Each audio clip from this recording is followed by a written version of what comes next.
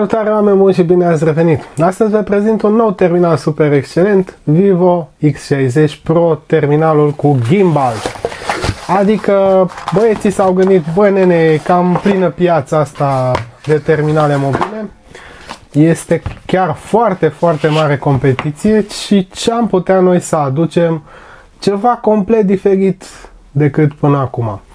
Stați cu mine în acest videoclip și o să vedem pe parcurs cum arată telefonul și ce caracteristici tehnice speciale are. Aflăm și prețul din România, că a fost lansat recent și la finalul acestui videoclip o să vă tragem la sos câștigătorii pentru concursul Hammer ca să nu mai fac încă un clip separat. Le pun tot așa 2 în 1. Astăzi doar unboxing, după care pun telefonul la testare, după care îl scot afară și filmez cu camera asta să vedem cum se, cum se vede filmat așa din mână mergând pe stradă. Este la nivel tehnologic destul de avansat de nivelul flagship, are un procesor bun, Snapdragon 870, camerele decente, 48 de megapixel principală, 13 megapixel ultrawide, 13 megapixel cameră de zoom, și bă, un ecran Super AMOLED 120 de Hz, adică are toate dotările astea ale unui flagship și vine la un preț destul de mare de flagship. Dar uh, Vivo încearcă și ei să acapareze o bucată din piață după plecarea asta a Huawei.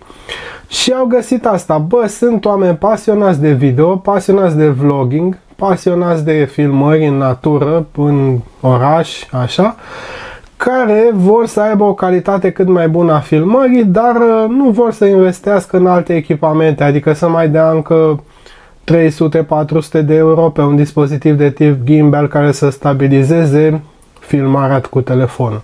Și atunci au integrat în cameră un mecanism care stabilizează imaginea în timpul filmării o să vedem, am văzut așa niște demo am văzut niște clipuri făcute de niște oameni care se pricep foarte bine la filmare și normal că arătau super excelent. Pe mine practica mă interesează să văd eu cu mâna mea cum se descurcă la utilizatorul final, ca să zic așa, nu la un utilizator super specialist. O să găsesc un loc unde să filmez din mână și vedem cum se vede în clipul de review care o să vină peste câteva zile. Deocamdată, haideți să vedem ce au pus în cutiuță, după cum ați văzut, cam este o cutie destul de masivă. Uh, cum arată telefonul, specificații și chestii, iar la final nu plecați pentru că fac tragerea la sus cu câștigătorii care vor primi cele două telefoane Hammer și o, sunt convins că o să fiți foarte atenți la, la rezultatele de acolo. Pe care revenit de sus de aici să vedem ce și cum cu această cutiuță perfect shot. Uh, Vivo este partenerul UEFA Euro 2020, a meciurilor de la noi. Ați văzut, am avut și concurs cu bilete la meci, a fost însă foarte, foarte pe scurt, de asta n-am mai, n-am mai continuat și pe video adică trebuia răspuns foarte rapid. De asta pentru toate concursurile și chestiile de genul ăsta cu premii, uitați-vă pe blog că e mai simplu, dați computer blog despre concursuri, computerblog.ro slash despre slash concursuri și găsiți acolo. Uh, acum sunt cam, cam încheiate, dar o să, o să fie și deseori sunt doar pe blog. L-am așteptat cu toții și acum este X60 Pro 5G. Nu este perfect, dar face parte din mersul Vivo de a ajunge cât mai aproape de perfecțiune.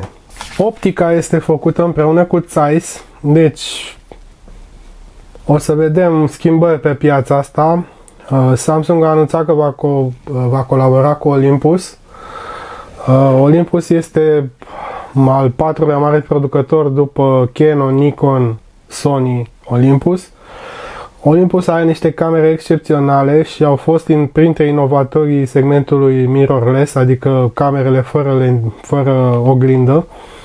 Uh, desigur, ei nu au colaborat până acum cu nimeni pe smartphone, deci va fi o primă aplicare a tehnologiei pe smartphone.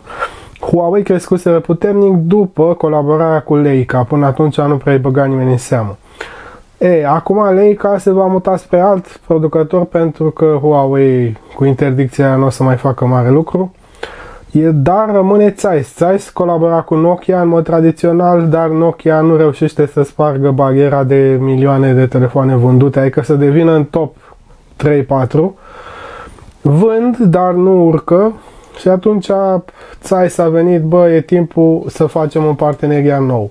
Și au făcut de data asta cu Vivo. După cum vedem, explică sistemul de camere foto aici cu cel mare și două mai mici.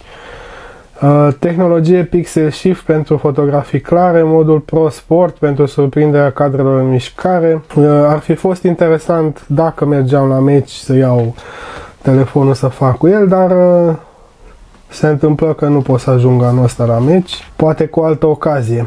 Bineînțeles, alte detalii tehnice despre care o să mai vorbim. Ia să vedem și aici. Oho, este în altă cutiuță, da? Așa, mai băieți.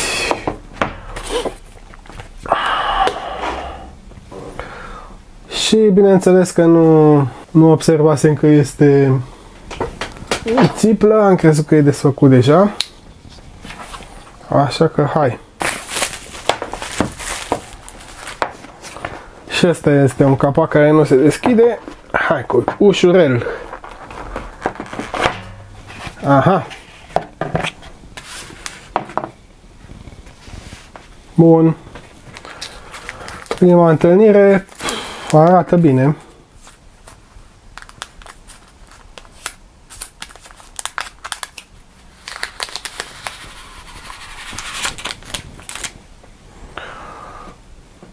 Foarte plăcut designul și are un feeling metalic, metalic. Chiar pare foarte solid. Vedem sistemul de camere aici, logo Zeiss, da? Deci sunt convins că nu vor da greș cu camerele astea. Uh, Vario Tessar au folosit chiar brand de lentile adevărate. Îi dau drumul și ne uităm în cutiuță ce mai e.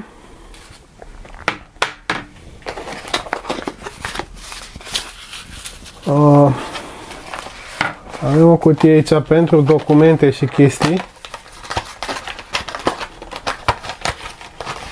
Cu o husă transparentă, bineînțeles.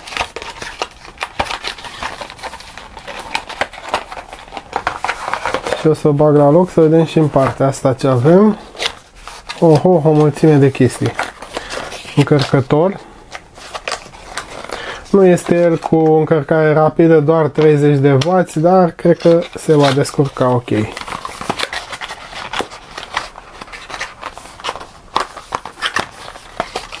Căști din astea cele mai ieftine cu dop, dar totuși pentru mulți utilizatori contează. Un cablu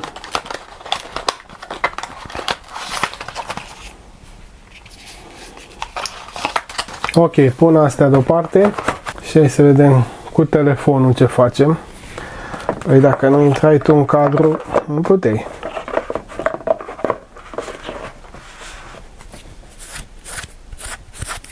Gata, am rezolvat problema. Mă crede în Germania, nu sunt prieteni, aș vrea eu să fiu, dar sunt în România, care nici nu e pe lista asta, Rwanda, Porto Rico, Samoa și m-a băgat într-o nouă listă. Da. Aha, aici s-ar putea să fie și România. Da. Ok, sunt de acord de data asta, am citit termenii și... Bă, dar ți-am zis că i-am citit, lasă-mă în pace, nu mă lasă până nu văd toate aia, ia uite. Setup offline, prieteni, că avem treabă, da? Zice că e februarie, mă băieți, mă. Na, cum să-i zic eu lui ăsta cât e ceasul? Eh, în sfârșit am ajuns în interfață direct. Îmi place Fan Touch OS ăsta de la ei, pă, telefonul pare că se mișcă bine, nu avem prea multe aplicații suplimentare instalate de ei.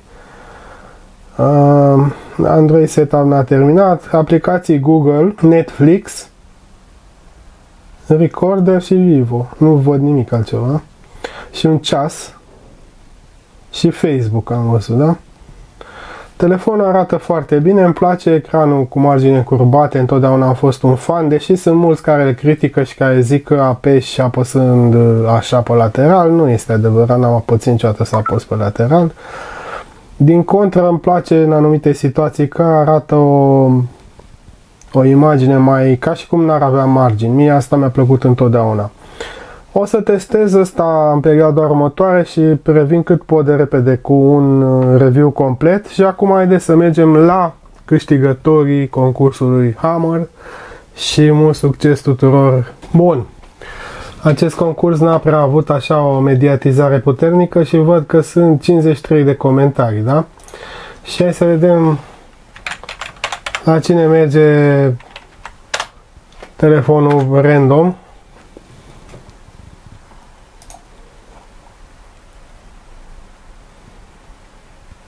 Aha. Hai să vedem acum, fără T, fără end.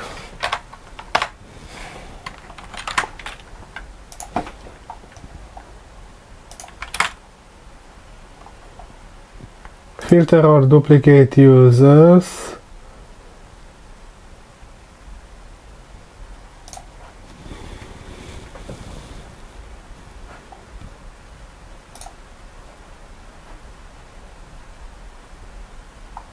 A găsit toate cele 53 de comentarii și dau start acum.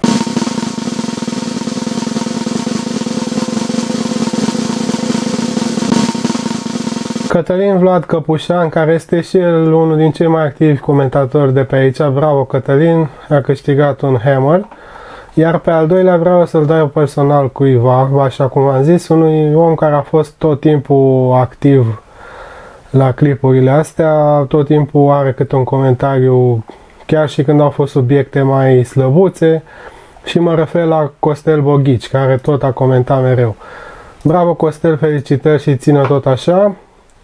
Uh, mă contactați prin uh, blogul meu computerblog.ro, găsiți acolo la contact datele, sau pe Facebook, sau prin alte metode, LinkedIn și așa mai departe. Găsiți voi cum să mă contactați, da? Uh, trimit cât pot de repede premiile și ne auzim în curând cu alte concursuri noi. Baftă! Ciao! Cu sprijinul mobiledirect.ro Huse și accesorii pentru telefonul tău.